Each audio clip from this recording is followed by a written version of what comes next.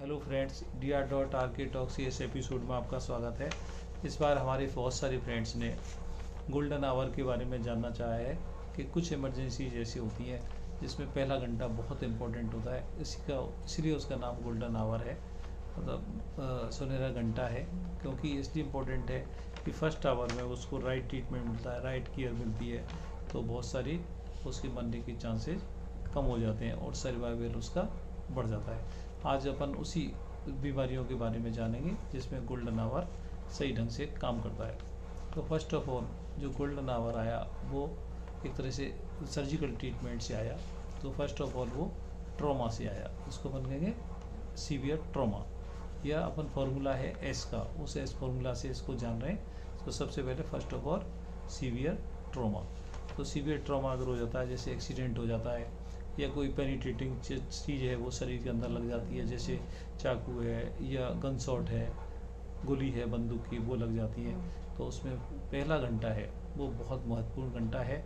वो उसमें उसको फ़र्स्ट राइट एड मिलती है फ़र्स्ट एड मिलती है और राइट ट्रीटमेंट मिलता है राइट केयर मिलती है तो उसके सर्वाइवल के चांसेस बहुत ज़्यादा बढ़ जाते हैं। इसलिए ये फ़र्स्ट आवर कहलाया, क्योंकि एक्सीडेंट के अंदर जो 50 परसेंट डेथ होती है, वो पहले घंटे के अंदर ही होती हैं। इसलिए पहला घंटा सबसे महत्वपूर्ण घंटा है कि मरीज़ सही टाइम पे राइट टाइम पे ट्रीटमेंट पहुँच जाए। राइट टाइम पे ट्रीटमेंट लग जाए तो वो बिल्कुल ठीक हो जाता है या उसके ठीक होने के चांसेस बढ़ जाते हैं। फिर अपन दूसरी बात पे जाना है, अपन ने stroke S for stroke stroke मतलब लकवा और अटैक हार्ट अटैक तो ये भी इसमें भी फ़र्स्ट आवर बहुत इंपॉर्टेंट होता है। जो जो लकवा होता है, उसके अंदर क्या होता है? कि या तो हेमरेजिक अटैक होता है, या इस्चीमिक अटैक होता है, जो ब्रेन के अंदर जो बेसल्स हैं, या तो क्लोग हो जाती हैं और या फिर रप्चर हो जाती हैं। तो उन दोनों में ही जो फ़र्स्ट आवर बहुत इंपॉर्टेंट होता है क्योंकि लग जाता है तो ब्रेन फिर नॉर्मल कंडीशन में आ जाता है और लकवा भी जल्दी से इम्प्रूव हो जाता है। ऐसे अटैक के अंदर है।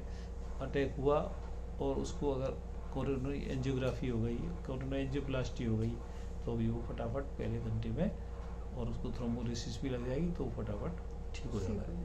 तो ये दूसरे नंबर का एस हो गया तीसरे नंबर का है शॉक शॉक में क्या है जैसे मान लो ब्लड प्रेशर एकदम डाउन हो गया किसी भी कंडीशन से तो फिर उसको फटाफट इमरजेंसी है उसको फटाफट आई वी फ्लूड्स चाहिए और कौन सी कंडीशन हो जाती है जिसमें शॉक में आ जाता है मरीज़ तो सबसे पहले है जल जाता है। कोई आदमी जल जाए तो उसका बहुत सारा फ्लूड चला जाता है शरीर में, या फ्लूड लॉस हो जाता है तो उसको तुरंत आई फ्लूड्स चाहिए।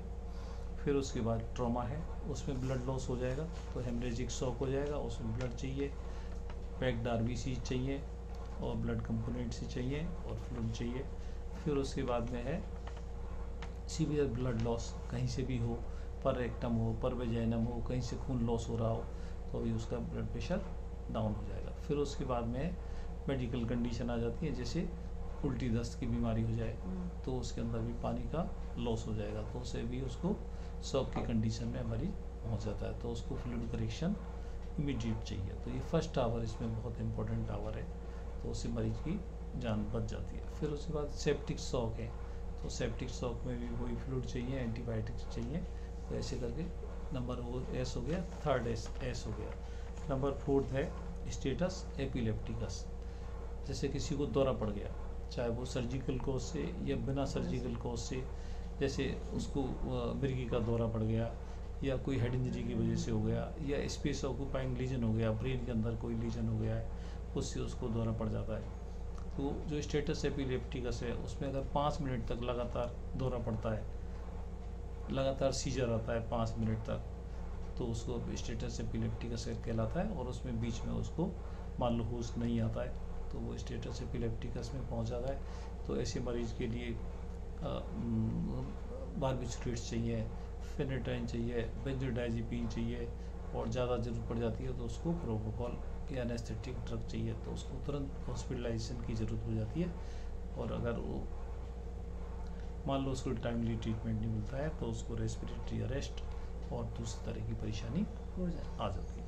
फिर नंबर फोर्थ है नंबर फिफ्थ है स्टेटस एस्थेमेटिकस जैसे सांस का उसको दौरा पड़ गया। तो सांस के दौरा में उसको जैसे इन्हेलर लग गया फिर उसके बाद नेबुलाइजर या आ, या उसको स्टीरॉयड या फिर वो वेंटिलेटर पे रखना है या फिर उसको आ, कोई आईवी ड्रग चाहिए तो उसे फ़र्स्ट आवर उसके लिए बहुत इम्पोर्टेंट हो जाता है। तो आज ऐसे करके अपन ने कुछ बीमारियों के बारे में जाना है जिनके लिए या जिनमें पहला घंटा बहुत इंपॉर्टेंट होता है, उस टाइम पर उसको राइट केयर मिलेगी तो मरीज़ फटाफट ठीक हो जाएगा। अगले एपिसोड्स में अपन हर बीमारी के बारे में डिटेल में जानेंगे जैसे कौन सी बीमारी है, उसको क्या राइट ट्रीटमेंट होता है, इसके बारे में अपन नेक्स्ट वीडियो में जानेंगे। Thank you very much channel को लाइक करें कमेंट करें शेयर करें सब्सक्राइब करें। Thank you thank you